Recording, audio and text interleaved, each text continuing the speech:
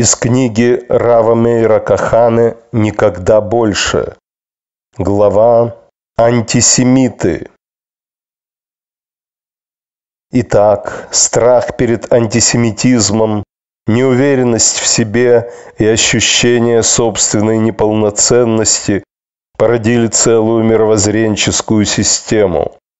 На ее принципах американо-еврейский истеблишмент построил всю свою деятельность.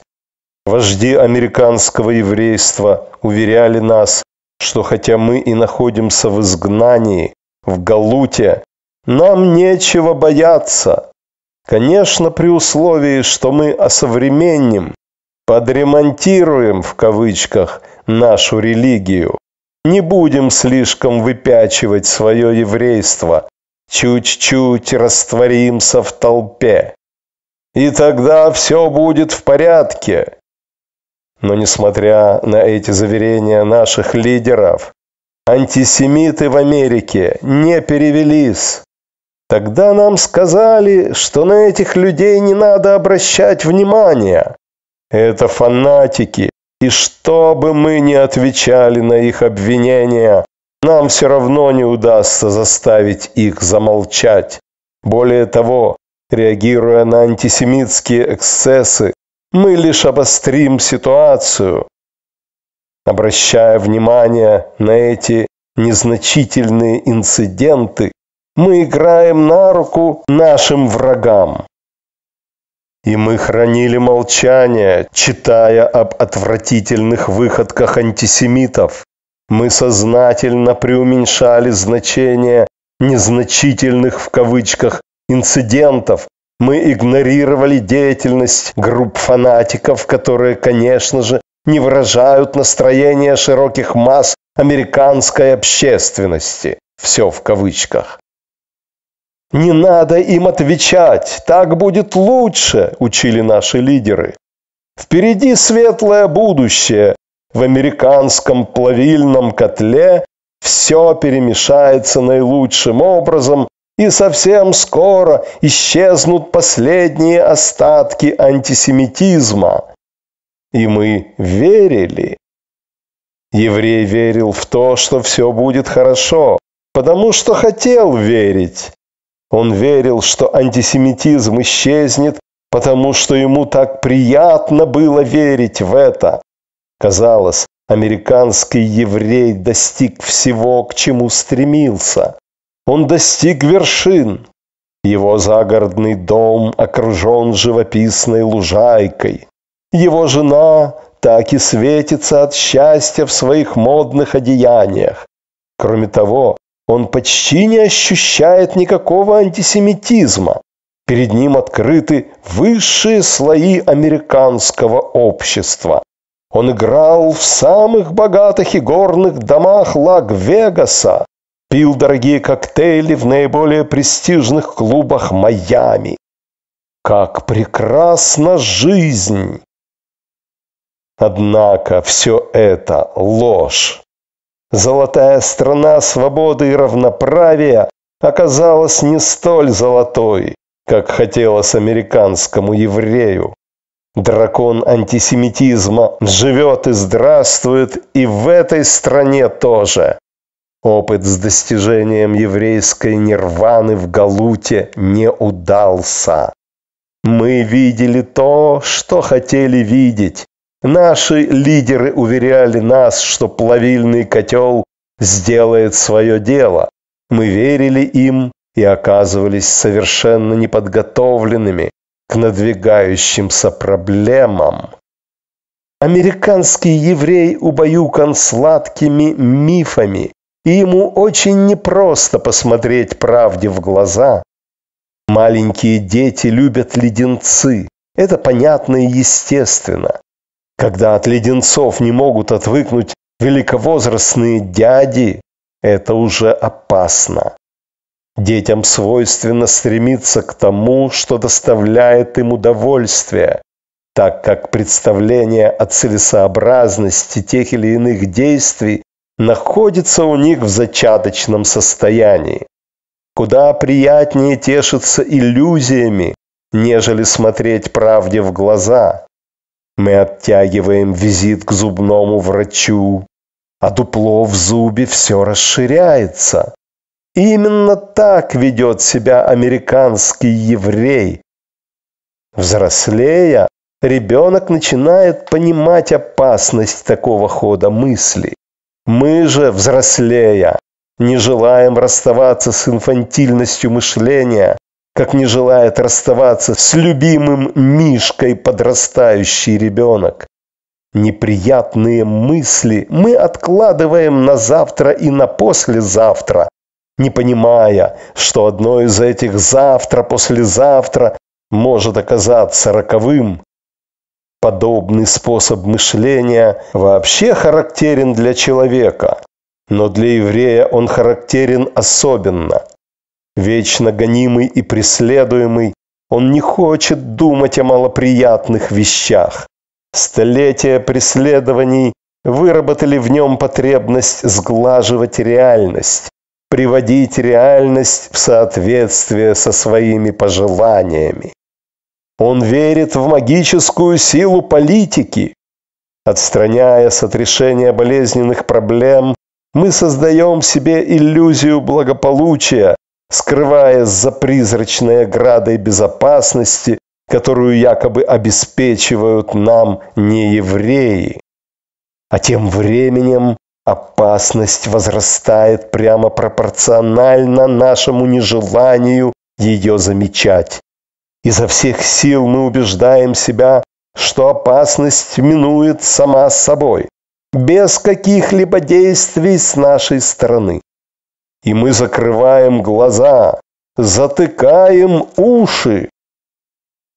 В этом нет ничего нового. В свое время Адольф Гитлер опубликовал книгу, в которой детально описал свой план искоренения всех человеческих ценностей. Но мы отказывались взглянуть правде в лицо. Наши иллюзии росли столь же быстро, сколь его силы, а наше бездействие, наш умственный паралич прогрессировал так же быстро, как и наши иллюзии. Обитатели Варшавского гетто на протяжении многих месяцев отказывались верить, что их близких увозят не на работу, а на смерть. Сегодня нам очень не хочется вспоминать об этом. Великий лидер сионистского движения Зеев Жаботинский вспоминал о своей беседе с доктором Максом Нордау, одним из первых соратников Теодора Герцля. Жаботинский говорил о том, что евреям необходимо немедленно предпринять какие-то шаги, чтобы вернуть себе страну своих предков и самим вернуться в эту страну. Он выразил удивление, что евреи не понимают этой очевидной вещи. Седовласый Нордау, за плечами которого был многолетний опыт сионистской работы, ответил так. Это, молодой человек, логика. А логика есть искусство греческое, и евреи терпеть его не могут. Еврей судит не по разуму, он судит по катастрофам. Он не купит зонтика только потому, что в небе появились облака. Он раньше должен промокнуть и схватить воспаление легких. Тогда другое дело. Результаты самообмана всегда бывали трагичны. От того, что мы игнорируем опасность, она не исчезает. Напротив, она лишь возрастает. Проблемы не перестают существовать из-за того, что мы предпочитаем о них не думать. Они лишь усугубляются. Наши мудрецы говорили так. Какой человек мудр? Тот, кто предвидит будущее. Мудр тот, кто не боится подумать о том, что может случиться завтра. Тот, кто готов искать решения, пока проблемы не переросли в кризис. Тот, кто готов вступить в схватку с кризисом, пока тот не перерос в катастрофу. В наше время такие люди не только мудры, но и отважны. Беда не только в том, что лишь немногие способны сегодня смотреть правде в глаза а не пребывать в счастливых грезах. Пигмеи духа всеми силами борются с теми, кого наши учителя называют мудрыми. Для пигмеев этих предупреждение об опасности не более чем крик «параноика» в кавычках. Много веков назад пророк Еремия тоже казался большинству своих современников сумасшедшим. Если еврей становится жертвой собственных иллюзий, это уже достаточно плохо. Но куда хуже, когда еврейское руководство укрепляет эти его иллюзии, пытаясь заглушить голоса разума. Нас по-прежнему заверяют, что все в порядке. Еврейский истеблишмент изо всех сил старается удержать рядового еврея в его слепоте, разоружая его перед лицом грозящих опасностей. А Голден и Медине, золотая страна Америка, сегодня не столь уже золотая, как вчера, а вчера не была столь золотой, как позавчера. И совершенно очевидно, что завтра она будет еще менее золотой, чем сегодня. Открытые проявления антисемитизма, с которыми мы сталкивались на каждом шагу 25 лет назад, сегодня встречаются реже. Но произошло это не вследствие наших попыток раствориться и исчезнуть в окружающей среде, и не как результат торжества демократии, равенства, либерализма и секуляризма. Это произошло не потому, что нам удалось убедить неевреев в том, какие мы хорошие. Изменения произошли по двум совершенно иным причинам. Ужасы, постигшие наш народ катастрофы во время Второй мировой войны, потрясли мир и наложили временное эмбарго на открытый антисемитизм. Увы, Симпатия к евреям возникла тогда лишь, когда треть нашего народа погибла в газовых камерах. Гибель шести миллионов принесла нам кратковременную передышку от антисемитских выходок. Второй причиной был невиданный экономический подъем, благодаря которому большинство американцев смогло вкусить от плодов хорошей жизни. Практически исчезла безработица. Люди, принадлежащие к среднему классу, купили дома, автомобили, телевизоры. Они наслаждались изобилием материальных благ, как никогда раньше. У них просто не оставалось времени для антисемитизма. Именно поэтому после окончания Второй мировой войны антисемитизм приутих из-за чувства вины перед теми, кого сожгли во Свенцами, и из-за экономического процветания. Однако это отнюдь не означает, что с антисемитизмом покончено. Обезболивание не означает, что болезнь вылечена. И довольно скоро болезнь снова дала о себе знать. Сегодняшней Америке приходится решать немало задач. Проблема современного обучения белых и черных школьников не дает покоя миллионам родителей. Там, где раньше жили только белые, начали селиться негры, а это нравится далеко не всем белым. У белого рабочего появляется черный конкурент, и он вовсе не в восторге от этого. Не проходит недели без сообщений о беспорядках, возникших на почве расовой ненависти. Не стоит думать, что если американские города еще не пылают, а все больше негров занимают места в Конгрессе и высокие посты в государственной администрации, то все в порядке и не о чем беспокоиться. Любое достижение меньшинств, любое укрепление их позиций в американском обществе настоящий американец в кавычках воспринимает как ущемление собственных прав и оскорбление своего достоинства. И когда дело коснется борьбы за материальное благополучие, вопрос взаимоотношений между расами вновь приобретет остроту. И кто окажется виноват во всех бедах? Разумеется, евреи. И тогда наши лидеры вспомнят, конечно, сколько сил и средств положили они на борьбу за гражданские права негров. Нам всем придется пожинать плоды наших представлений о либерализме и равноправии. Ни одно из белых меньшинств не собиралось терять своего этнического облика. Итальянцы, поляки, ирландцы, немцы, литовцы, англичане вовсе не горели желанием раствориться в американском плавильном котле и возглавить борьбу за тотальное равноправие, мир и прогресс. Об этом мечтали только евреи. И они по-прежнему затрудняются понять, в чем ошиблись, где отклонились от строжайшего соблюдения принципа высшей справедливости. Режим Гитлера пришел на смену Веймарской республике, в частности потому, что немцы прониклись убеждением, что существует внутренний враг, из-за которого Германия проиграла войну. Внутренним врагом были, конечно, евреи, ведь среди вождей пацифистских движений было множество евреев. Никто не вспоминал имена пацифистов-немцев.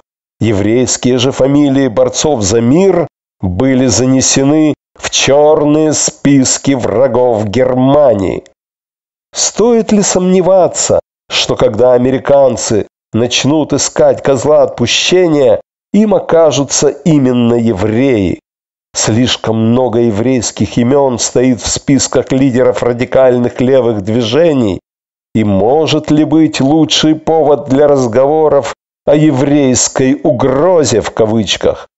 Деятельность распоясавшихся леваков довольно сильно раздражает большинство американцев, которые любят свою страну, довольны тем, как она устроена, и которых отнюдь не привлекают разговоры о социализме и мировой революции, а поскольку заметная часть этих омерзительных борцов за светлое будущее в кавычках носит типично еврейские фамилии, многие американцы забывают, что среди левых есть и не евреи, помнят только о евреях. Сколько еврейских могил вырыли эти евреи-революционеры, которые из кожи вон лезут, чтобы доказать, что они порвали все связи со своим народом. Эти евреи-леваки – худшие из антисемитов. Им не только не жалко самих себя, они хотят заставить купаться в крови своих собратьев, от которых открещиваются всеми силами. Еврей, исповедующий коммунистическую религию, относится к числу наиболее заклятых врагов еврейского народа, поскольку марксистско-ленинская доктрина отрицает сам факт существования нашего народа. Наше национальное существование подрывает основы веры тех, кто поклоняется пролетарскому интернационализму. В свое время Ленин объявил, что марксизм не может совмещаться с национализмом, даже самым справедливым, честным, рафинированным и несущим печать цивилизации, и что вместо всех форм национализма марксизм предлагает интернационализм. Иными словами, евреи как нация должны исчезнуть, Отношение марксизма к религии как к опиуму для народа в кавычках делает его врагом нашей религии. Марксисты прямо и открыто заявляют, что в случае победы их учения еврейский народ должен исчезнуть. Эта позиция находит свое выражение в резко отрицательном отношении левых к Израилю. Те, кто жаждет свержения американского правительства и победы коммунистов во Вьетнаме, жаждет и победы арабов на Ближнем Востоке, которые стремятся уничтожить еврейское государство, поддерживая империалистической в кавычках Америкой.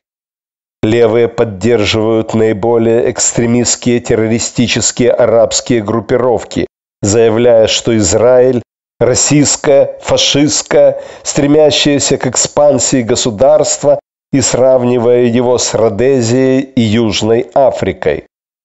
Ненависть к сионизму и Израилю перерастает в ненависть к евреям вообще, поскольку большинство американских евреев поддерживает Израиль и считают, что его существование должно быть обеспечено в любом случае. Так называемые антисионисты неизбежно превращаются в открытых антисемитов. Американские левые и левые вообще являются активными разносчиками ярого антисемитизма, старательно подчеркивая еврейское происхождение того или иного капиталиста, с удовольствием рассуждая о еврейских торговцах, эксплуатирующих несчастных обитателей негритянских гетто и об украденных ими деньгах, на которые был создан Израиль. И то, что среди этих левых встречаются евреи, увы, неудивительно. Худшими антисемитами всегда были евреи-ренегаты. Прочие антисемиты редко могут додуматься до того, что изобретают эти вчерашние евреи. Злая ирония судьбы состоит в том, что левацкие движения, эти злейшие враги нашего народа, не могут обойтись без активной, иногда решающей помощи евреев-ренегатов. Левые наводят страх на всю Америку. Они кричат об экономическом кризисе, который приведет к власти фашистов. Но именно они, левые, вместе с экономическим кризисом могут сделать Америку фашистской. Потому что уже сегодня в большинстве американских городов есть пронацистские группы, которые тихо, как шакалы, культивируют в себе злобу. Они усвоили все элементы тоталитаризма и ждут лишь, когда придет их время. Этих неонацистов объединяет ненависть. Они ненавидят негров, вообще всех неамериканцев, левых, которые разрушают республику. Но больше всего они ненавидят евреев. Евреи стоят в центре всех их планов. Все проблемы происходят от евреев. Евреи разрушают американский образ жизни. «Посмотрите на еврейские имена левых!» – кричат эти неонацисты. Все расовые проблемы Америки вызваны темными делишками евреев. Леворадикальными движениями руководят евреи. Евреи ответственны за все неудачи Америки. Еврея надо уничтожить, иначе он уничтожит Америку. Некоторые из неонацистов открыто говорят о газовых камерах. Они пытаются создать свои военные дружины, свои штурмовые отряды. Каждый день они убеждают своих соотечественников, что пришло время взяться за оружие. Таких организаций десятки. Они располагают сотнями печатных органов, и изо дня в день вещающих миллионам читателей об угрозе, исходящей от евреев. И многие среди этих миллионов готовы во время кризисных ситуаций воспринимать всерьез то, что раньше казалось им безумием. Дьявол рождается среди сметенных и испуганных, Тирания среди тех, кто не чувствует уверенности в завтрашнем дне. Я знаю, что мне будут возражать. Оставьте, это же горстка экстремистов. Сколько их? Что могут они сделать? Мы ведь не параноики. И этот довод многих убеждает, хотя в действительности дело обстоит иначе. Мы знаем, что часто небольшие по численности группы подчиняли себе большинство. В России, например, большевики составляли совершенно незначительную часть населения, но это не помешало им захватить власть в стране. Нацистская партия в Германии тоже была весьма немногочисленной, Но это не помешало ей в решающий момент собрать на выборах 40% голосов избирателей. Экстремисты не нуждаются в поддержке большинства населения. Им нужна группа хорошо организованных, дисциплинированных, преданных делу людей. Следующий шаг используя подходящую политическую, общественную и экономическую ситуацию и апатию большинства населения, будущих жертв, не желающих замечать надвигающиеся опасности, захватить власть. Почему многие так уверены, что рост антисемитизма и усиление неонацистских группировок в США – вещи невозможные? Почему они также уверены, что люди, предупреждающие об этой опасности, страдают паранойей? Почему они отказываются понять, что люди, которые сегодня носят нацистские эмблемы и открыто заявляют о своей приверженности идеям Гитлера, это лишь верхушка огромного айсберга. Десятки миллионов американцев, не будучи членами неонацистских организаций, находятся под сильным впечатлением неонацистской пропаганды, симпатизируют неонацистам и при случае готовы им помочь. Семена ненависти, которые сеет нацистская литература, особенно успешно произрастают в душах людей, столкнувшихся с жизненными невзгодами. При определенных условиях урожай может превзойти любые ожидания. Политические, идеологические и экономические изменения могут произойти очень быстро. Достаточно вспомнить, как развивались события в Германии в 30-е годы. Есть примеры и из американской жизни. В нашей памяти свежо еще дело Лео Франка, молодого еврея из Атланты, обвиненного в убийстве нееврейской девушки. Процесс над Лео Франком, проходивший под девизом борьбы с еврейскими распутниками, носил абсолютно антисемитский характер. В нашей памяти свежа еще антисемитская пропаганда Генри Форда, во многом повторявшая идеи протоколов сионских мудрецов и теорию о кознях международного еврея, в кавычках. Мы не успели еще забыть громадный рост фашистского движения в Америке в 30-е годы, когда христианский священник из Детройта Чарльз Кофлин в своих еженедельных выступлениях по радио обращался к десяткам миллионов американцев с призывом быть патриотами и ненавидеть евреев. Мы не забыли еще лидеров пронацистских организаций Чарльза Линдберга, Лоуренса Денниса, Джеймса Банахена, Джо МакУильямза и прочих.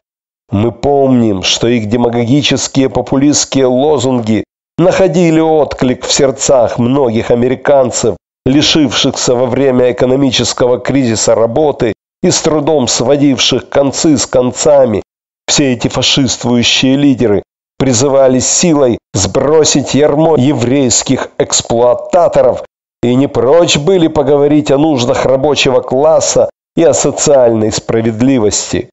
Мы не должны забывать уроков этого недавнего прошлого. Ужасы Второй мировой войны и последовавшие за ней годы экономического процветания отрезвили многих из тех, кто в 30-е годы потеряв работу, был готов встать в одну шеренгу с нацистами. Эти люди не представляют опасности, пока их животы набиты, и ничто не указывает на то, что завтра им, может быть, не удастся сытно поесть. Но стоит обстоятельствам измениться, как эти люди будут готовы собственными руками разорвать на части еврея врага и эксплуататора.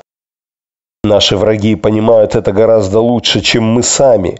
Еще в 1963 году нынешний лидер американской нацистской партии Джордж Линкольн Роквелл писал «Наша битва назначена не на тот день, когда у каждого белого американца есть два автомобиля, и он живет в роскоши. Наш час наступит тогда, когда экономические трудности вызовут панику и страх перед завтрашним днем, когда рядовой американец не захочет больше оказывать экономическую помощь развивающимся странам в кавычках, когда у американцев ничего не останется, им также не останется что терять. Конец цитаты. Наши враги и левые, и неонацисты терпеливо ждут своего часа.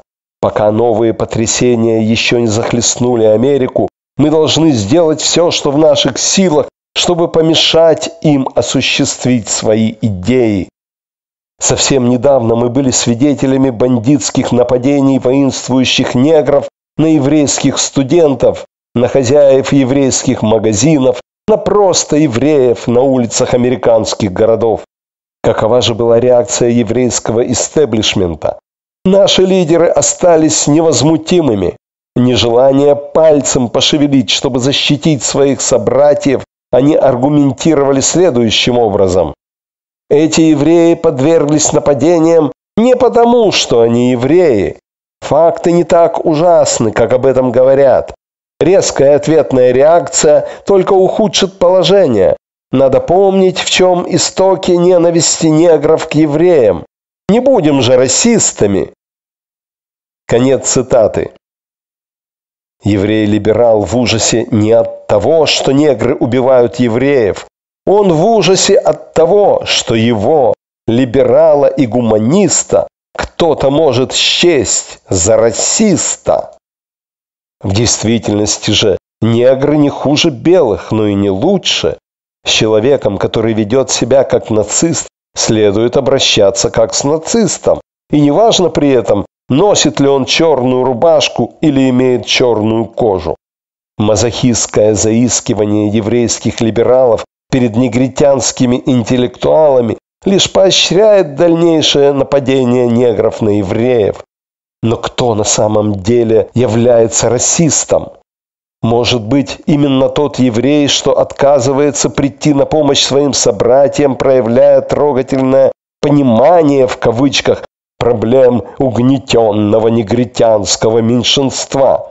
И уж разумеется, расистом не является человек, который дорожит свободой всех людей и готов защищать свой народ, если кто-то, и неважно, какого цвета его кожа, поднимет на него руку.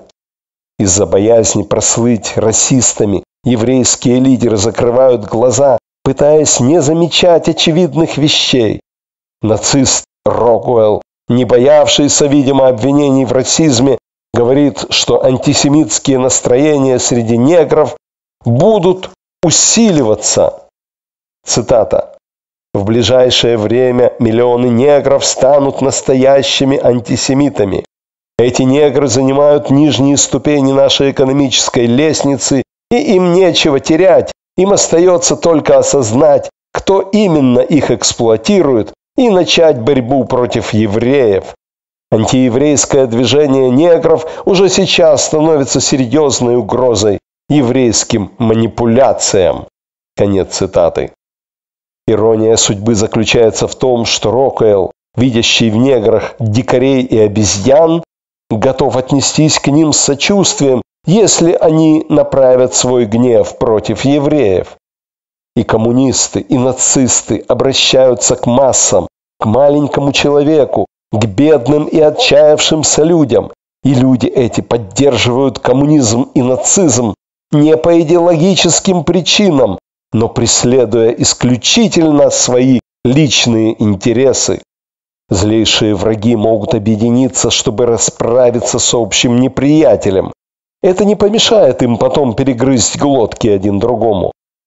Но пока, пока обездоленные белые вполне готовы будут объединиться с неграми, чтобы совместными усилиями растерзать из вечного козла отпущения еврея.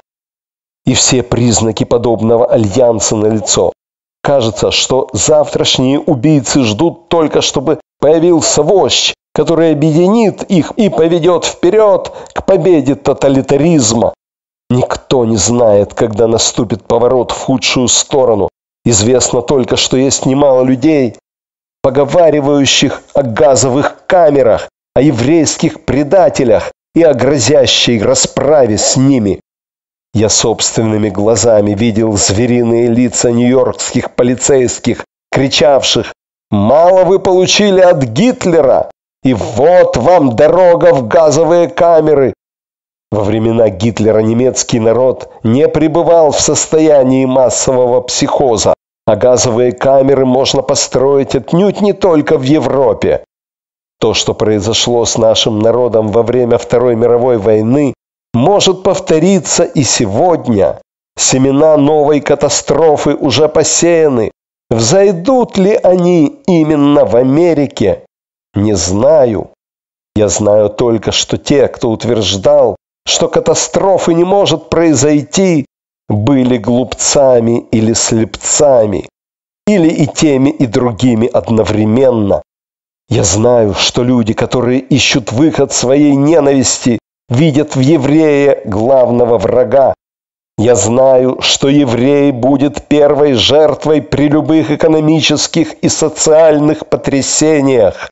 Я знаю, что через 25 лет после Освенцима антисемитизм не кажется уже столь позорным явлением, каким он был сразу после окончания войны. И я знаю, что в свое время была страна, в которой евреи чувствовали себя превосходно. Называлась та страна Германией. Мог ли кто-нибудь предположить, что именно в этой почти идеальной стране родится катастрофа? Евреям жилось там комфортабельнее, чем сегодня в Америке. В Веймарской республике еврей занимал пост министра иностранных дел. Евреи владели газетами и универмагами, среди них были высокоуважаемые доктора, адвокаты и университетские профессора. Их ассимиляция происходила так же счастливо, как во многих странах в наши дни. Это просто не могло произойти в столь благополучной стране. Это же вам не царская Россия. Но это произошло. И когда это начинало происходить, когда влияние нацистов стало расти не по дням, а по часам, руководители еврейских организаций только спрашивали, посмеиваясь, «Ну, сколько там последователей у этого сумасшедшего? Сколько членов партии этого Гитлера?» А когда последователей стало уже предостаточно, еврейские лидеры с уверенностью утверждали, ему никогда не удастся завоевать доверие большинства немецкого народа. Солидный бюргер не пойдет за ним. Когда же произошло и это? Те же лидеры нашли новое объяснение. Он, конечно, не имеет в виду немецких евреев. Он имеет в виду Остюден, восточноевропейских евреев, которые действительно отличаются от нас, респектабельных граждан, и отличаются не в лучшую сторону. Но в конце концов немцы проголосовали за Гитлера, и его партия абсолютно демократическим путем стала крупнейшей в Германии. Интересы собственного желудка оказались для немцев важнее, чем принципы морали и любовь к своим еврейским согражданам. И Гитлер занялся уничтожением евреев, не только восточноевропейских, но всех, даже уважаемых господ профессоров германских университетов.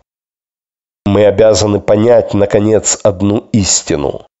Пока люди живут в довольстве, они заняты построением собственного золотого тельца, и их мало волнует все остальное.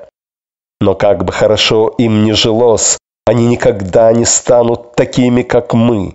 Они все равно будут недолюбливать евреев за то, что те слишком умные, слишком богатые, слишком агрессивные и слишком горячо поддерживают Израиль. Веками мы искали причину этой антипатии к нам в надежде найти лекарство от антисемитизма. Пора, наконец, вспомнить слова раби Шимона Бар-Йохая, сказанные им почти две тысячи лет назад. «Исав ненавидит Якова». Так устроен мир. Америка не является исключением из этого правила. Евреев не любят и в Америке.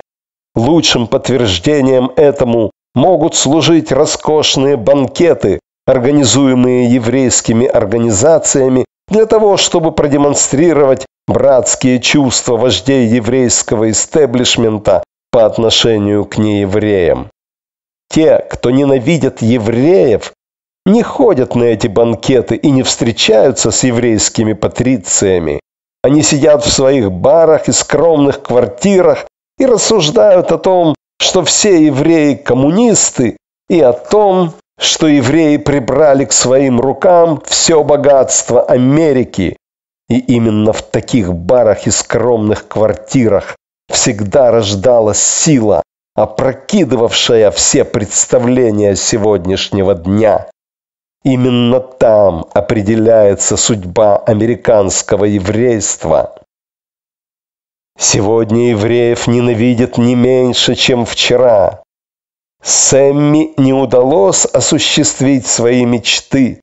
Сегодня он уверен в себе ничуть не больше, чем вчера, когда он обитал в нью-йоркских кварталах бедноты. Ему не удалось обрести мир и безопасность. Миф остался мифом.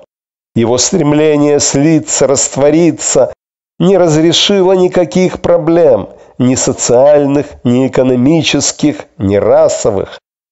Его нееврейские сограждане руководствуются не принципами либерализма, равенства и демократии, но своими собственными интересами.